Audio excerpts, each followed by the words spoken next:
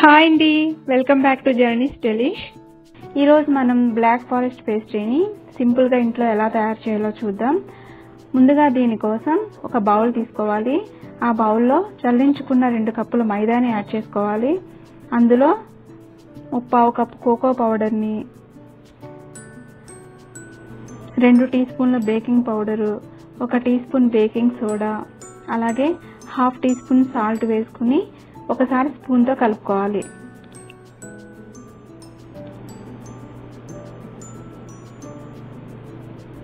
ఇలా కలుపుకున్నాక ఇప్పుడు రెండు కప్పులు షుగర్ని యాడ్ చేసుకోవాలి.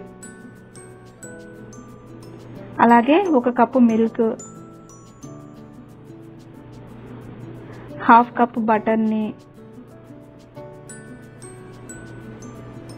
అలాగే ఒక టీ స్పూన్ వెనీలా ఎక్స్ట్రాక్ట్ని యాడ్ చేసుకోవాలి.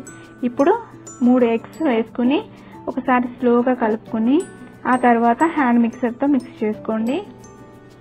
మీకు కావాలంటే హ్యాండ్ మిక్సర్ లేకపోయినా స్పాచ్లతో అంతా కలిసే విధంగా బాగా కలుపుకోవాలి. కేక్ మిక్స్ ఎప్పుడు గట్టిగా ఉండకూడదండి. చాలా హార్డ్ వస్తుంది. కొంచెం లూజ్గానే ఉండాలి. అప్పుడు కేక్ సాఫ్ట్ వస్తుంది. ఇలా మిక్స్ చేసుకున్న కేక్ బ్యాటర్ని పక్కన పెట్టుకోవాలి. ఇప్పుడు బేక్ ప్యాన్ తీసుకుని ఆ బేక్ ప్యాన్కి బటర్ని రాసుకుని పార్చ్మెంట్ పేపర్ వేసుకోవాలి. నేను ఇక్కడ నైన్ ఇంచ్ ప్యాన్ని తీసుకుంటున్నాను. ఈ పార్చ్మెంట్ పేపర్ లేకపోయినా ప్యాన్కి బటర్ రాసుకుని మైదాతో డస్ట్ చేసుకోవచ్చు. ఇప్పుడు ఈ కేక్ బ్యాటర్ని అంతా ఈ ప్యాన్లో వేసుకుని బబుల్స్ ఏమీ లేకుండా ఒకసారి ట్యాప్ చేసుకోండి.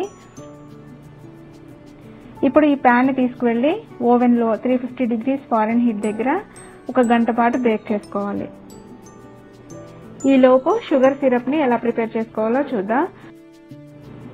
ఒక బౌల్ తీసుకుని అందులో హాఫ్ కప్ షుగర్ అలాగే హాఫ్ కప్ వాటర్ వేసుకుని కొంచెంసేపు మరిగించుకోవాలి. పాకం రావాల్సిన అవసరం లేదండి. షుగర్ కరిగితే సరిపోతుంది. ఇలా షుగర్ కరిగించుకున్నాక దీన్ని పూర్తిగా చల్లారనివ్వాలి. ఇప్పుడు కేక్ బేక్ అయిందండి. దీన్ని పూర్తిగా చల్లారనివ్వాలి. దీన్ని కూడా పక్కన పెట్టుకోవాలి. ఇప్పుడు ఫ్రాస్టింగ్ కోసం క్రీమ్ని ఎలా చేయాలో చూద్దాం. ఒక బౌల్ తీసుకుని అందులో అర లీటర్ హెవీ విప్పింగ్ క్రీమ్ని వేసుకోవాలి.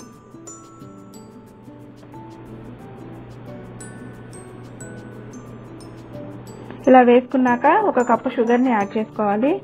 నేను ఇక్కడ షుగర్ లెస్ విప్పింగ్ క్రీమ్ని తీసుకున్నాను. అందువల్ల షుగర్ యాడ్ చేస్తున్నాను. హ్యాండ్ మిక్సర్ తోటి హై స్పీడ్లో బీట్ చేసుకోవాలి. ఈ విప్పింగ్ క్రీమ్ని ఫ్లఫీ అయ్యేంత వరకు బీట్ చేసుకోవాలి. ఎంత ఫ్లఫీ అంటే మీరు హ్యాండ్ మిక్సర్ని ఇలా తీస్తే అంటే వీడియోలో చూపించిన విధంగా క్రీమ్ అనేది కింద పడకూడదు. అలా అయితే మీకు క్రీమ్ రెడీ అయినట్లే.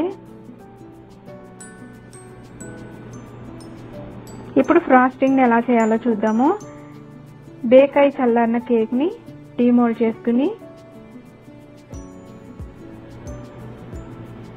ఇలా స్లోగా పార్చ్మెంట్ పేపర్ని తీసుకోవాలి.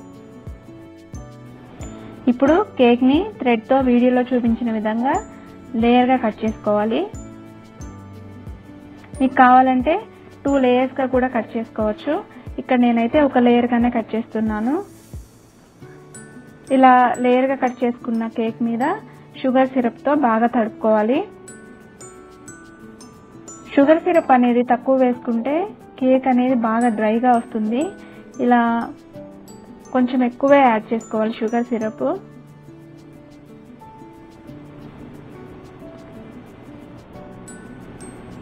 ఇలా తడుపుకున్న కేక్ మీద ఎక్కువ విప్పుడు క్రీమ్ వేసుకుని కేక్ మొత్తం ఈవెన్గా స్ప్రెడ్ చేసుకోండి.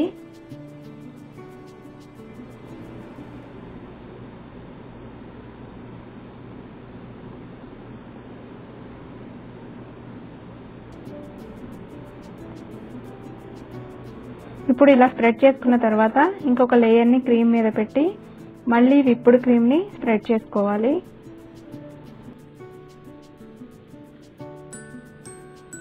అలాగే మిగిలిన విప్పింగ్ క్రీమ్తో సైడ్స్ అంతా కూడా స్ప్రెడ్ చేసుకోవాలి.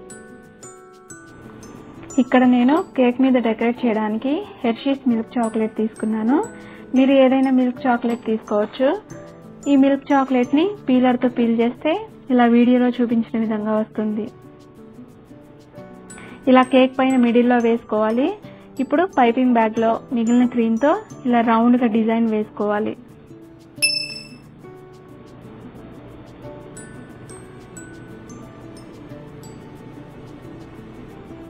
ఇలా డిజైన్ వేసుకున్న తర్వాత వాటి మీద చెర్రీస్ పెట్టి కేక్ సైడ్ కూడా ఈ పీల్ చేసుకున్న చాక్లెట్తో డెకరేట్ చేసుకోవాలి.